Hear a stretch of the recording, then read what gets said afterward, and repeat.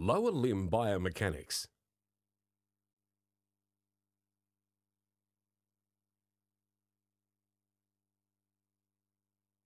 The key to lower limb biomechanics is that to understand and treat faulty foot function, we must first understand normal foot function. The human foot is a complex structure of bones, joints, muscles and ligaments. The foot can be divided into three sections, the forefoot, the midfoot and the rear foot. The forefoot comprises the first to fifth metatarsal bones and phalanges. The midfoot comprises of the navicular and the cuboid, plus the medial, intermediate and lateral cuneiforms. The rear foot is made up of the calcaneus and talus. The subtalar joint. The main joint of concern in foot biomechanics is the subtalar joint, which is the joint between the calcaneus or heel bone and the talus. The proper function of this joint is crucial to a correct and pain-free gait. Motion of the rear foot. Triplane motion is the movement of the foot through three planes, i.e. three-dimensional.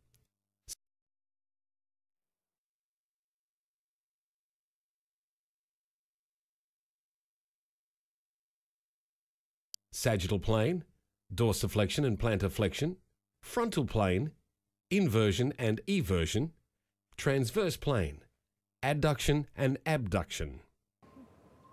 To understand the biomechanics of the foot and motion of the foot, we must firstly understand motion in the three cardinal planes, being the sagittal plane, the frontal plane, and the transverse plane.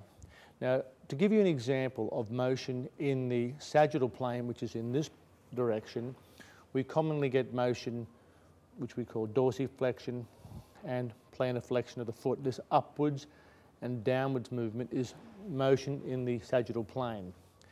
Now next we can talk about motion in the frontal plane, which is in this direction, and that's more when we get inversion and eversion of the foot.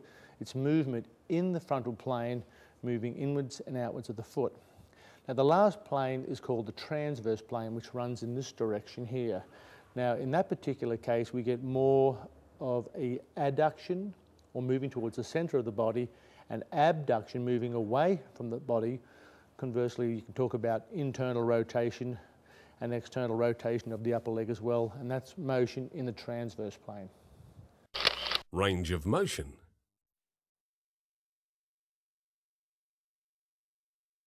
Motion at the subtalar joint is normally two-thirds supination and one-third pronation. Both pronation and supination are triplanar motions comprised of the following elements. Pronation, eversion, abduction, and dorsiflexion. Supination, inversion, adduction, and plantarflexion.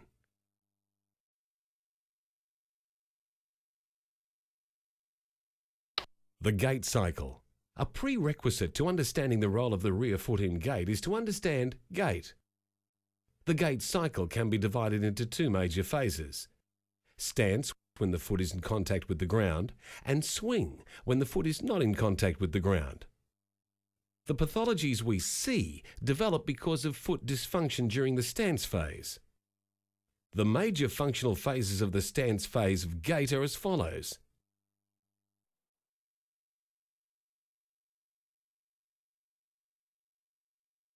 Contact phase.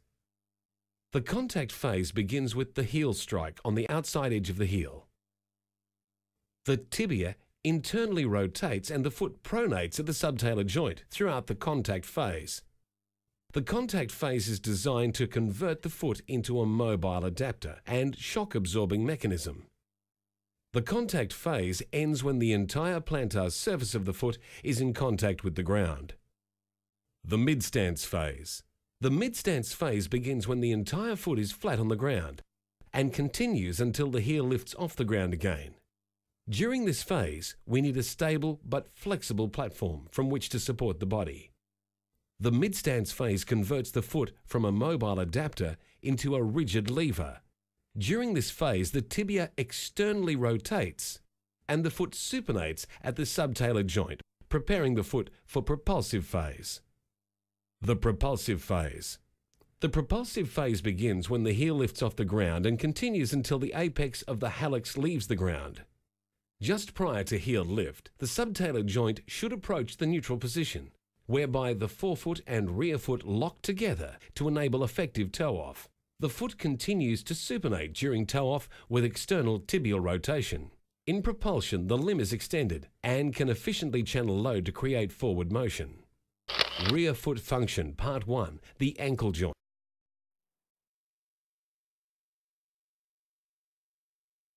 There are two major joints in the rear foot. The first is the ankle. This video shows ankle joint function during the stance phase of gait. During the course of any step, the center of body mass must pass from behind the weight-bearing foot to in front of it. Ankle joint motion is very important during gait, and when we view subjects walking from the side, we can see these motions very clearly. Rear foot function, part 2, the subtalar joint.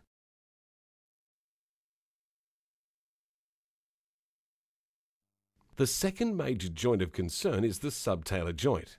The terms pronation and supination are used to describe the motions taking place at the subtalar joint.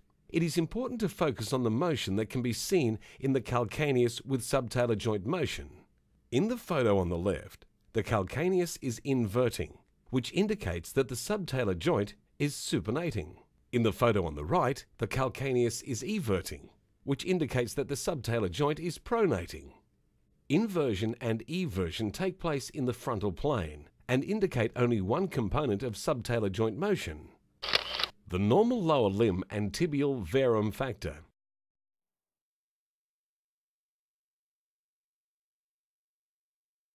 The normal lower limb is inverted approximately 4 degrees from the vertical. This is called a tibial varum and influences normal subtalar joint function.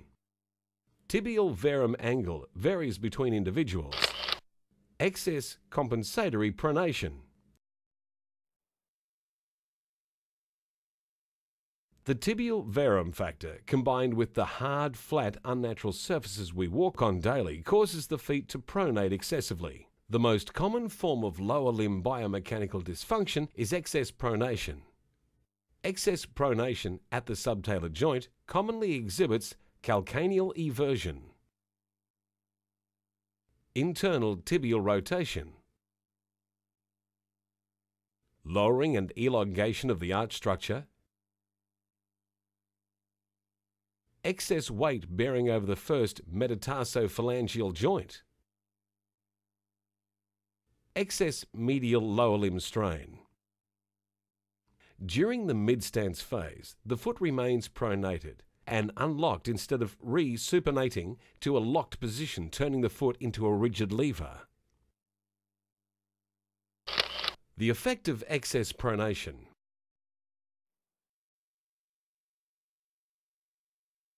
The subtalar joint axis lies approximately halfway between the frontal and transverse planes, about 42 degrees in the sagittal plane.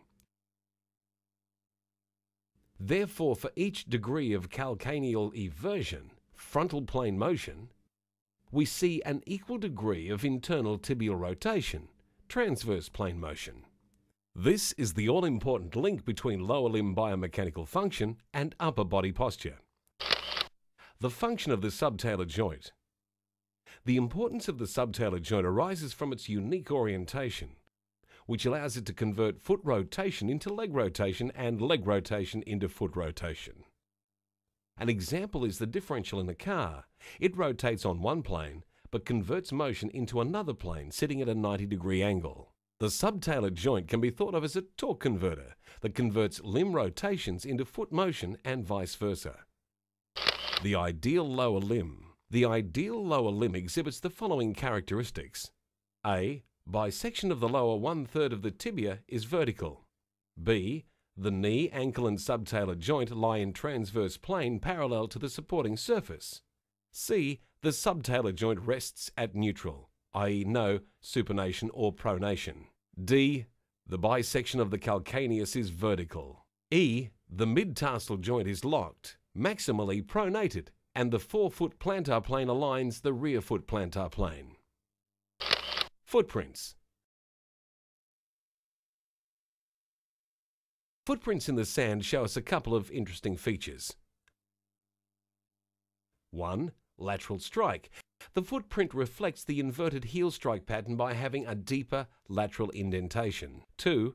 The footprints walk to a centre line, which effectively increases our functional strike angle. On hard surfaces, this means the foot has to pronate further to gain ground contact.